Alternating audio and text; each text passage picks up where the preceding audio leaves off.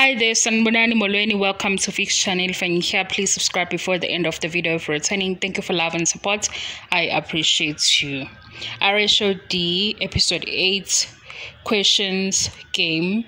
Umbuzo Makhumalo. Makhumalo, on the latest episode of The Real Housewives of Durban, was asked by one of the ladies anonymously during a game if she has ever slept with any Haibo men after being married or after marrying Mseleku.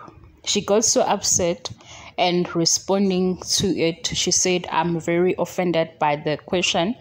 It annoys me big time. I would really love to see the person who asked that question. It is like an insult I have never akakaze ke impendulo.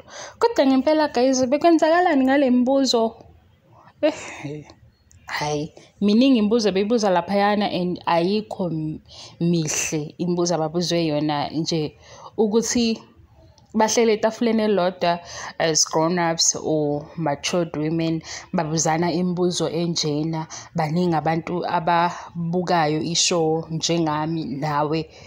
Isho ukuthini le nto? Shuthi isho fanele ibe njena? This is part of being spicy. Yo hayi.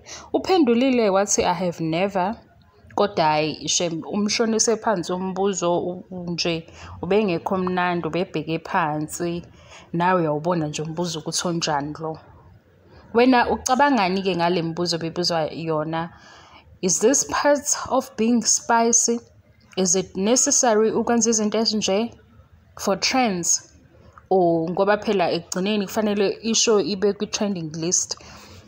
Njengoba nje hleze kushiwo ukuthi namhlanje kutrenda inani nani ku-twitter or social media. Hayi thank you so much for love and support. I appreciate you. Bye bye